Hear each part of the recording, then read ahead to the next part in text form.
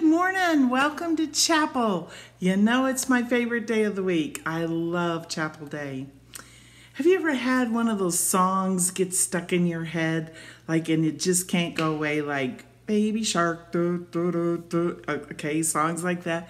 Or sometimes it's a praise and worship song, like My Lighthouse, or, or um, you name it. You think about it.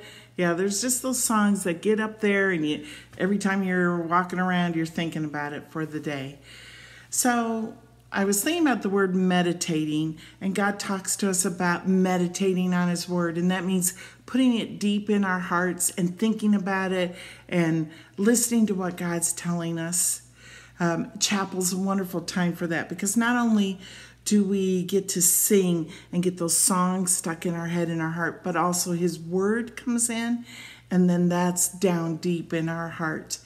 Um, the verse I want to share with you is from Philippians 4, verse 8, and it says this Finally, brothers and sisters, whatever is true, whatever is noble, whatever is right, whatever is pure, whatever is lovely, whatever is admirable, if anything is excellent or praiseworthy, think about those things.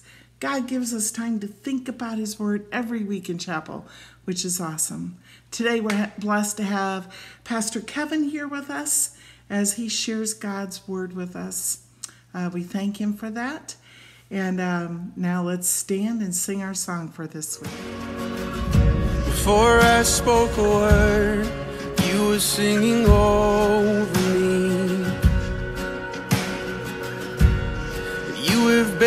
so, so good to me. Before I took a breath, you breathed your life in me. and You have been so, so kind to me.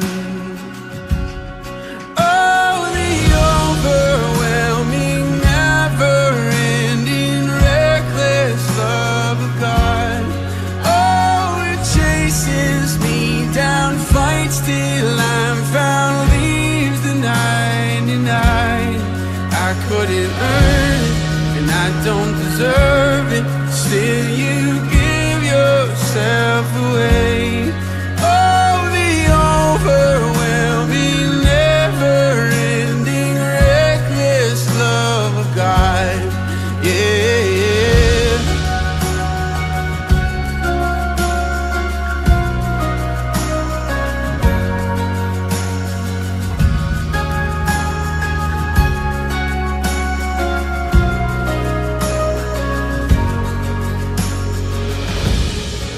I was your fault still your love fought for me. You have been so, so good to me. When I felt no worth, you paid it all for me. You have been so, so kind